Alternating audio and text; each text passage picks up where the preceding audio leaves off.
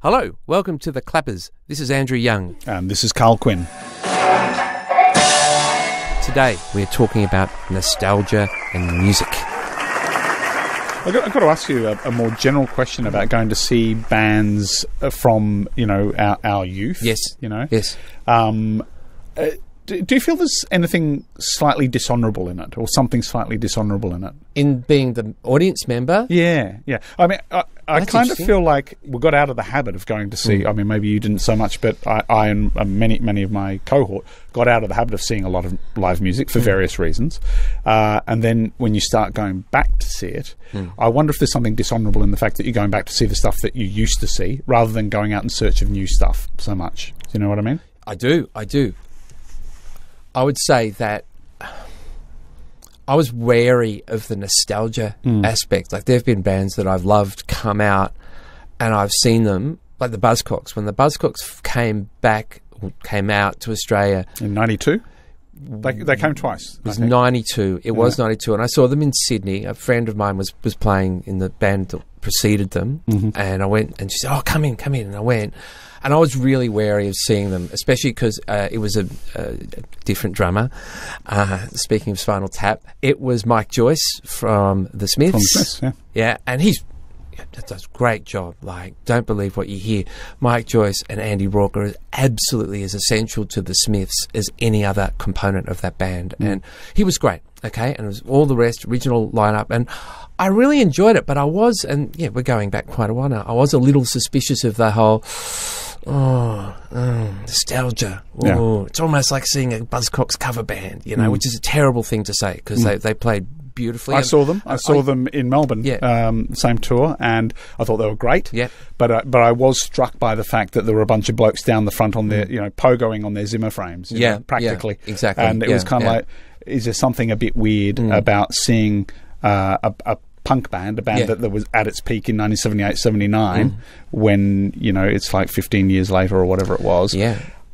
Yes and no. Is, yes and no. I mean, I kind of feel I'm really torn yeah, about it. I've not answered your question, have I? But well, no, but, but it's, it's, an yes interesting no. thing. I don't it? think it's dishonourable. Okay, I think that it would be a shame, and I suppose as a uh, as a judge, as someone who is always prepared and ready to judge others, I do judge people who only listen to Rolling Stones records mm. and only spend money on buying the latest iteration of some boxed collection yeah. of the Doors or the Rolling Stones and and I, I judge those people mm. and people who are who who aren't open to hearing you know I listen to a lot of music by dead people okay uh, but I still am always happy and eager to see who's playing now who what living musicians are actually playing now, doing mm. their in the Melbourne improvised music scene. There's a lot of great material that's accessible, contemporary, being played by living jazz musicians. That's not something from the 1950s or the 60s, but it's something that's they're trying to do something new and innovative. And and if you're doing that, if you're interested in that, if you have to make comparisons, then I think it's then yeah, go along and see a band that you used to love when you were a kid, like the Riptides. If the Riptides ever reformed with Howard Shawcross on bass, if they actually played, this is a band from Queensland mm-hmm. in the late seventies that I got to see once or twice as a kid. I'd go. I didn't go and see the Sunny Boys. I did. Yeah, I saw them. Uh, I saw them the, the, reunion tour, the first tour back. Uh, yeah. well, actually, it was, no, it was a second tour. It was mm-hmm. like six months later, mm-hmm. I think. Yeah. Um, I saw them at the Forum, and, and it was it was breathtakingly good. It was really good. And I saw them a few months ago again. Mm. It was it was they were probably a bit tighter. Yeah but it didn't have the same dynamism. Yeah. It, it, they they weren't reveling in the fact that they were doing it, and they were amazed to be doing it, yeah. which I think was what came through in that first, first round of shows. Because you know Jeremy Oxley's uh, long running uh, mm. mental health issues, the fact that he could actually get up on stage and, and play do and do it was quite a remarkable. Did thing. you see that documentary? Yeah, I did. Yeah, yeah see that. If I hadn't seen that documentary, you almost gone? certainly would have gone. It, right. it was so heartbreaking, and yeah. I just couldn't. It was just I couldn't imagine standing and watching him perform yeah. without feeling that. Yeah. And it's and it's odious to, to pity somebody. You know, I don't. I'm, I'm, not trying to say that, but I just I just couldn't go. Mm. And and I saw the Sunny Boys with my friend uh, in high school. I was 12 or something down at the North Curl Curl Surf Club. And we got there at about four in the afternoon. Because when you are that age, you only go to big concerts and you have to get there early so that you can get up the front, right? And there was nobody there. and then eventually the band turned up and, and we got to help carrying their gear and everything and hide in the toilets so we wouldn't get thrown out. It was a wonderful thing. And it was a great gig in many respects. Uh, and so you have that memory. But you also like the music so much, you want to see it actually executed mm. in real life in, by real people, not on the telly or on your DVD or your CD, you know. Mm. So it's a vexed question as Noel Coward would say. And I'm not sure what the answer is, but I don't think dishonourable. I just think you, if you go and see music, it's great. If you go and see live music, good on you. Yeah. You know, it's better than staying home and watching Game of Thrones.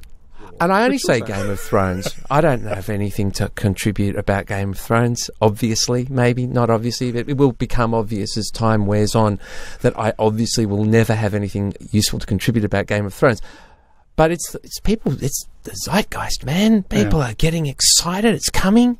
You know, it's coming. No, that's winter. Winter's yeah, coming. But, yeah, but yeah. but so's Game of oh, Thrones. Oh, There's the la- oh, that's a phrase. Yes, of course. See, this is what I mean. I, am not the person to talk ab- about the Game of Thrones. It's not the Game of Thrones, is it? It's just Game it's of Thrones. It's just Game of Thrones. Yeah, yeah. We'll, we'll forgive that. We'll forgive that. the Game of Thrones.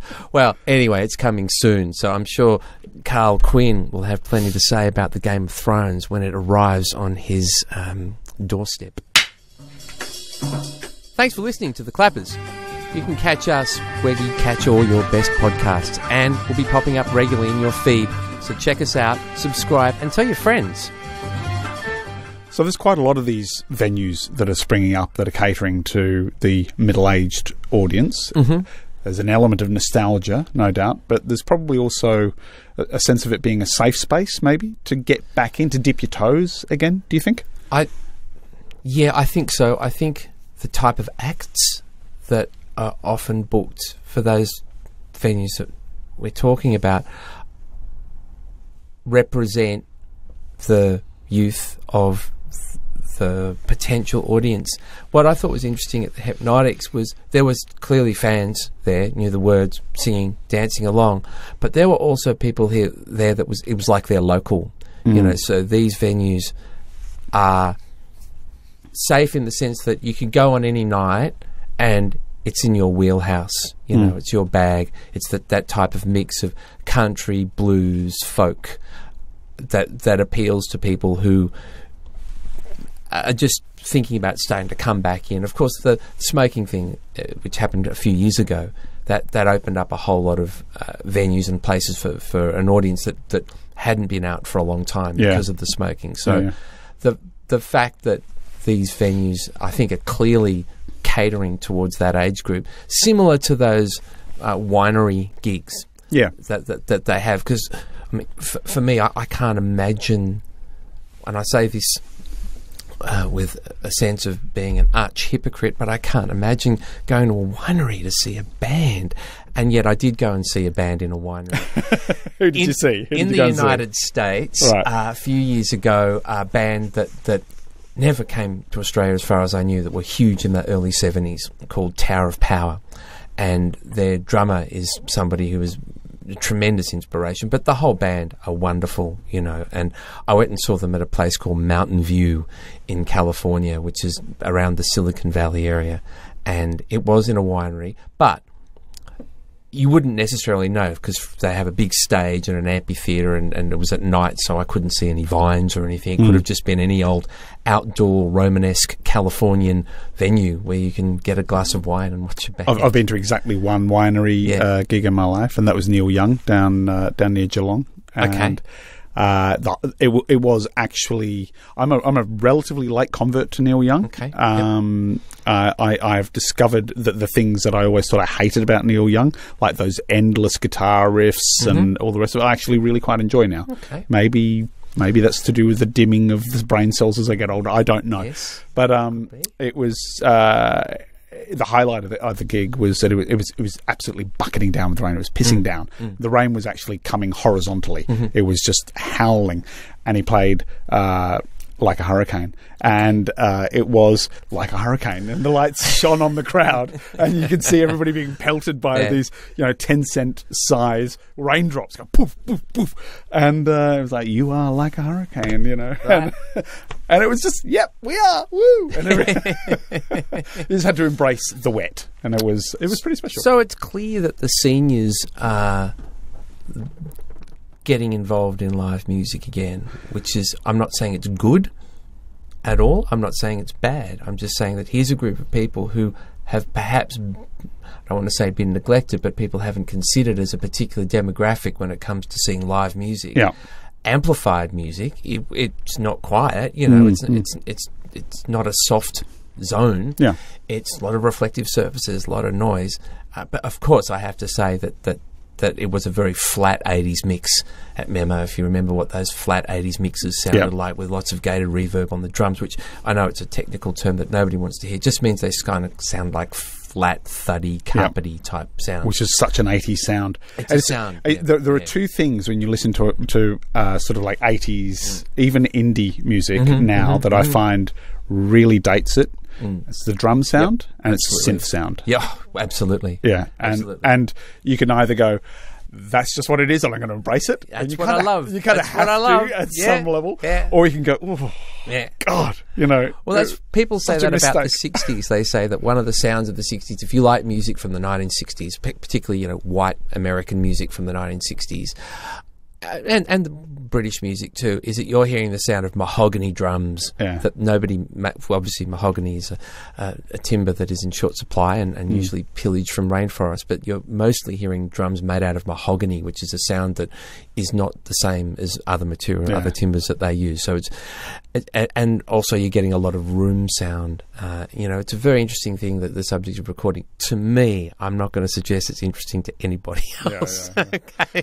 I just, I just want to pick up on the, the Yes. Mm. thing about the tables and chairs scenario. Now, I've been to I've been to gigs at the Flying Saucer Club Mm-hmm. uh, where th- that has actually been. In, in fact, I saw um, Jack Howard's uh, Epic Brass Mm-hmm. perform at both the Memo and at uh, the Flying Saucer Club. That's Did- commitment. You went did twice. well. I've got a mate who plays Oh, plays okay. sax, in, in them. um, and so for the sake of a friendship, I had to go. Oh, you're a good uh, no, and it was actually it was actually great. Yeah. particularly at the Memo Club. Right? Yeah. And one of the big differences between the two shows, Hmm. uh, almost exactly the same set with the same guest singers, Mm-hmm. um, Sean Kelly and uh, a whole a whole bunch Yep. of people. Um, almost the the biggest difference was the table and chairs scenario, Hmm. It- and it was remarkable how much it shifted the atmosphere because at the at the memo, by the end of the show, Hmm. you basically had a mosh pit. It was like a very slow moving mosh pit and a- Yeah. a, somewhat polite mosh pit. Sorry, oh, oh, sorry. Oh, did I did I bump you? I'm terribly sorry, but it was it was a mosh pit nonetheless. And at the I'm sorry. Do you mean that there were no chairs at the memo and there were at the no, I mean there were no. Yeah, there were no chairs Yep, at the memo, right. and uh, there were chairs at the back of the hall. Yeah, yeah, yeah, But there but- was but a, not- there was a space down the front where Yeah. you could feasibly get down there and you know and have sweat. fun. Yeah, which is and and I did, and many Good. others did, and it was great. And it I- felt like, damn it, I'm not 107. No, I'm seeing I'm a- only 96, I'm and I'm seeing a I'm band. seeing, I'm seeing a pop group. It's yeah. I, a lot of the people there. I don't want to keep going on about people's age um, because I'm I have an age too. It seemed like that they were necessary. Those tables and chairs. that they they weren't there for decorative purposes or to put your coat and handbag on. They they were necessary for. Yeah. And and okay, that's I'm not going to. I can't make a criticism about that at all. and I think that's that's fine, and that's what's happening, and, and like the spotted mallard as well. You know, that's a place that uh, an abundance of tables and chairs uh, on various levels, but you, know, you can, you know, they can be moved. Depends. I've seen some bands with young people in them at the spotted mallard, and there's far less chairs and tables Yeah. than on the other night. So. Yeah. You know, it's just in our youth when you'd go and see a band, it was in one of many rooms in a giant pub that was just everything had been cleared out of, Yeah. you know, and the carpet maybe ripped up, you know. Is there a term, a term for this? Is it geriatric or something? You know, uh, it may, maybe maybe there should be. It could be Yeah, geriatric. geriatric, Again, yeah. I don't, Yeah. I don't, You don't like it, but anyway. I, no, no, no, no. I don't not like it. I just am wary of being getting out that big broad brush Yeah. too soon. I And- haven't and- done a lot of and I think- analysis I think on it. You know, I think that's fair enough. Yeah. Um, I mean, you know, I go to see more more uh, contemporary music as well as Mm-hmm. as nostalgia stuff. Um, uh, I think one thing that's that's interesting about this is it, it's actually um, the fact that there is this audience mm. that uh, that has emerged of people in their post post forties, let's say, um, who are willing to go and see uh, live music and sometimes pay quite handsomely for, oh, yeah. for the privilege. I mean, yeah. we know about it in the in the sort of like the elite sphere of the Bruce Springsteens and the mm. you know the or the, the four hundred dollar VIP tickets and all that kind of nonsense. But mm. at a at a whole other level, at a local level, you get things. Well, not not so much local, but you get the opportunity to see acts that you never did get to see. Now you mentioned Tower of Power. Yeah. One I'd throw in there is Television. Yeah. Who, who toured uh, Australia a few years ago for the first time, yeah. only time.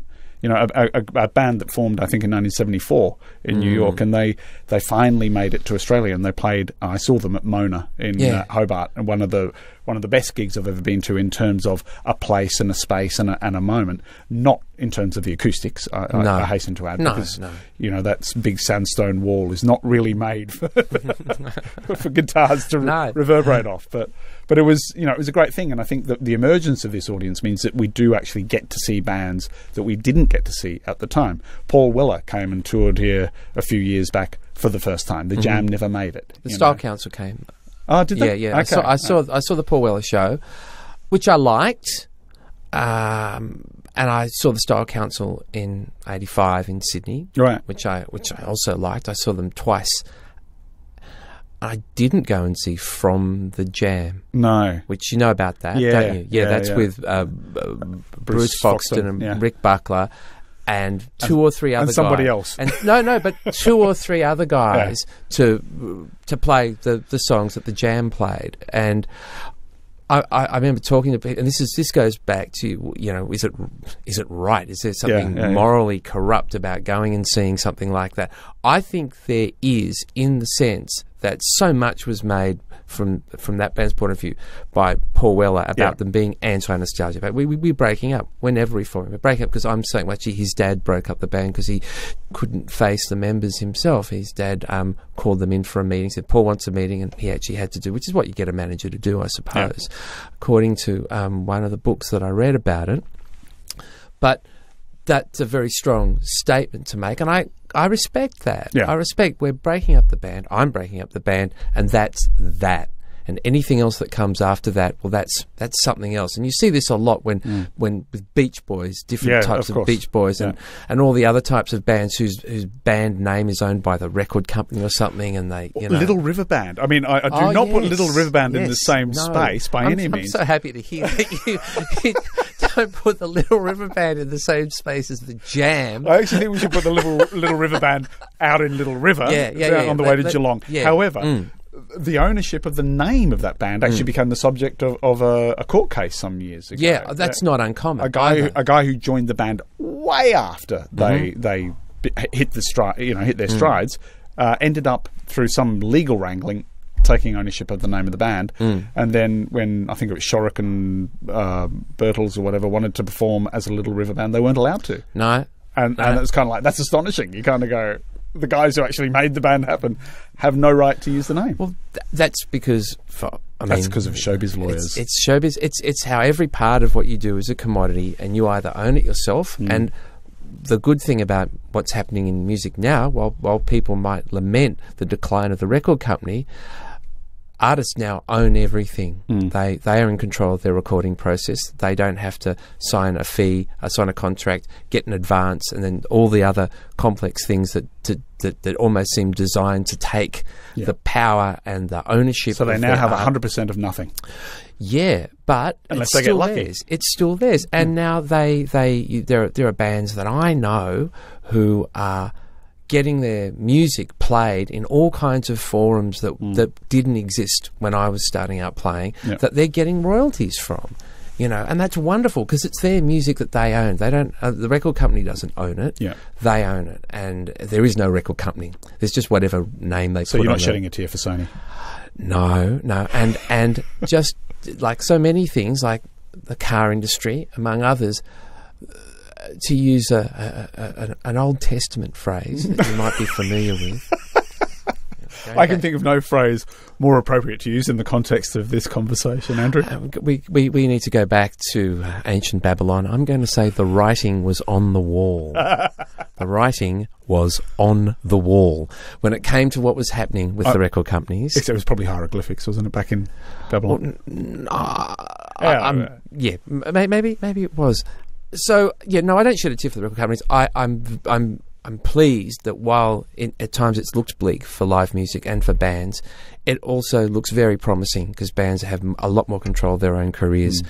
and because of the internet, have been able to organise their own gigs with like-minded bands around the world at a tremendously low cost compared to what it was like in, you know, say, the 70s or mm. the 80s when Australian bands would try to go overseas and play. So, it's it's a great place for music right now, mm. and it's great to see a band like the Hypnotics come out and play. And I'm and I'm I'm always happy if, if, if bands from my youth wish to reform, I'll, I'll go along and see them. Okay, so here's a puzzle for you. Yeah. The specials.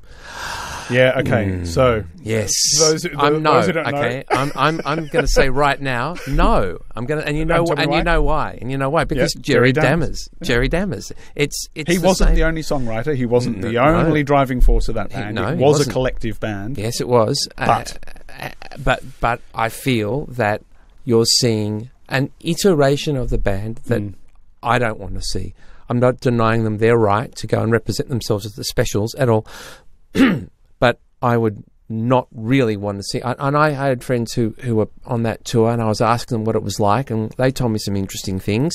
And from what they told me, some great some great performances individually and some great collective moments, but nothing they said made me think, "Oh, damn, I missed out on that one." Mm. You know, mm. and God, what a band! You know, what, what a band that would have been to see. Oh, because you see, you can get live footage of them on YouTube, Yep. and so Okay. yeah, The Who?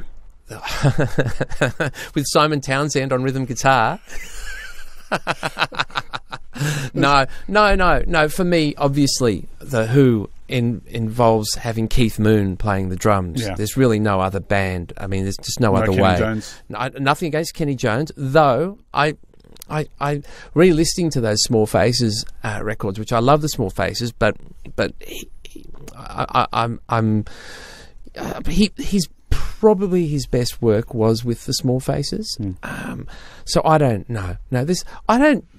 Actually, and I used to do this when I was really young, like a 12 year old. I used to pine for bands that used to exist and no longer exist that I will never see and, and get really upset about it, right? But I don't. I don't I don't scan my record collection and think, oh, funny they would get, funny they would come again. Oh, funny James Honeyman, Scott and Pete um, hadn't died, you know? Oh, damn. Because I could have gone and seen that band and being a youth, I only had a certain amount of money for concerts. Say, look, I'll check them next time because I'm going to go and see the Clash or something like that. And of course, as you know, half of that band died prematurely, and it became a completely other band, the Pretenders, a stadium band. And I'm unlike yourself, I'm not really up for the big stadium experience Uh, I, I don't know why you say I'm up for it. I've been because of the Neil Young concert. It was in a stadium. Sounds like it. It was a winery. A wine stadium. Sounds like a big wine stadium with lights and, and pyrotechnics and thunder and wine. That's called nature. Bacchus. Festival of It Dionysus. was near Bacchus Marsh. Yeah, there you go. so no, I, I, that was cruel of me. Maybe you're not a stadium man. I have been to very few stadium gigs, and I have loathed them almost uniformly. Uh, that said, I mean, does Rod Laver count? I guess it does. you Yes. know. Yes. if it's got if it's got three zeros, it's a stadium. Exactly. Exactly. Um, okay. Well, Andrew, that's it for nostalgia, rock and roll. I've had enough. I'm looking towards the future, man. yeah. Until next time. So thanks so much. This is